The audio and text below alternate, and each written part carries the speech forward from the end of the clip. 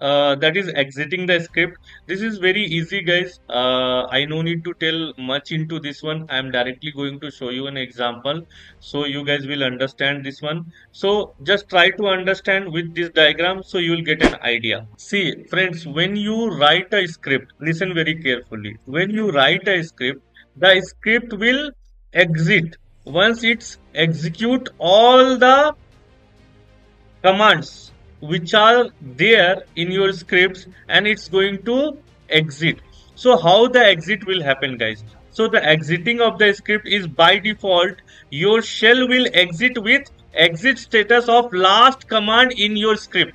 Whatever the last command in your script it's going to exit by default with that last command only. This is very simple and clear. So suppose uh, when see this is also one interview question when you do a dollar okay and question mark.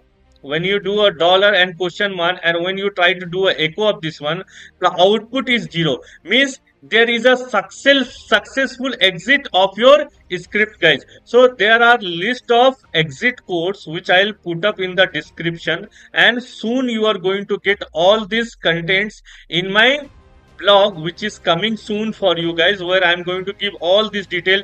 So suppose if the exit code is 0 if the exit code is 1 if the exit code is 2 so what does this mean? So guys if the exit code is, code is 1 it's a general unknown error. Like this there are list of exit code. By understanding those exit code you guys will understand what does that mean by a exiting a script. But by default again i am telling you when you do a exit of the script so it's going to exit by the last command in your script.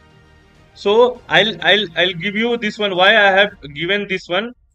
So when you do and sometimes in interview also they are going to ask you when you run called echo dollar and question mark what will be the output? So if you don't know about shell scripting you are 100% not going to give the answer of this. Just subscribe the channel and press the bell icon for the latest notification